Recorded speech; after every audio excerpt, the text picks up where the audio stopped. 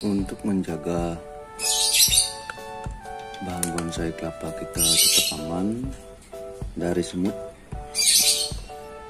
Seperti ini contohnya semut hitam terlalu banyak pada bahan bonsai kelapa kita akan sangat mengganggu pertumbuhan pada bahan bonsai kelapa kita. Solusinya adalah dengan cara siapkan sabun cuci piring dan air secukupnya untuk membersihkan dan kuas.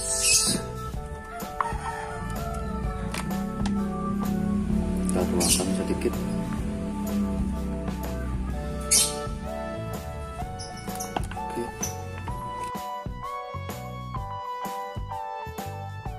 Kita bersihkan saja supaya kotoran-kotoran pada semut bisa hilang.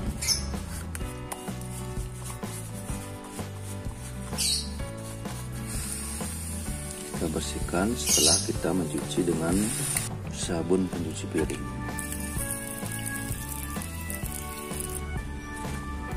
Kita ganti air ya, dengan air yang baru.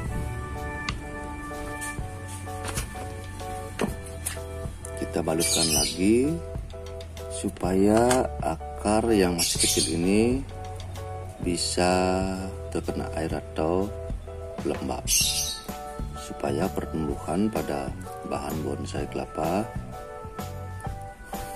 menjadi lebih subur.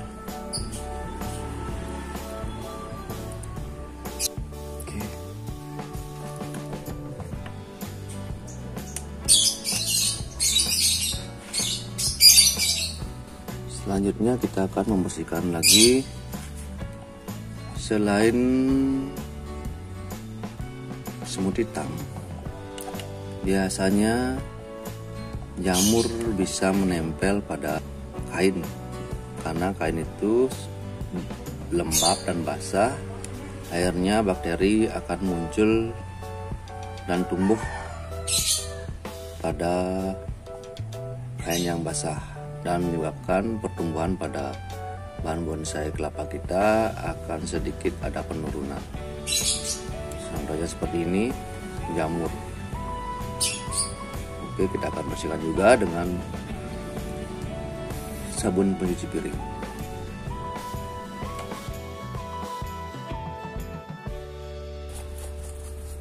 Kita cuci juga akarnya supaya bersih. Supaya terhindar dari jamur, semut hitam, dan ular. Ini daunnya juga kita bisa bersihkan.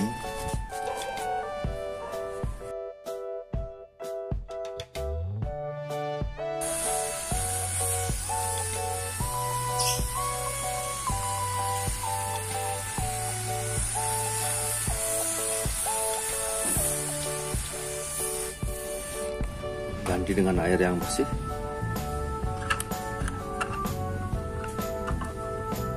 Oke. Ini juga dari batoknya kelihatan sudah seperti kena hama putih-putih kita akan bersihkan juga. Ini udah kelihatan putih-putih sekali ya.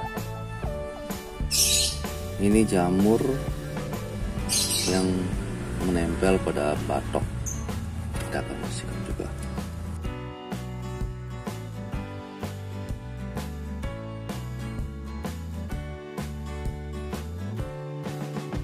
Kita ganti supaya bersih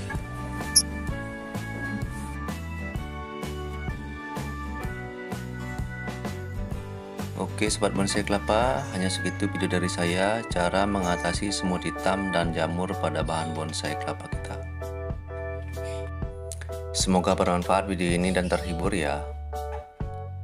Akhir kata saya ucapkan banyak terima kasih. Salam bonsai kelapa.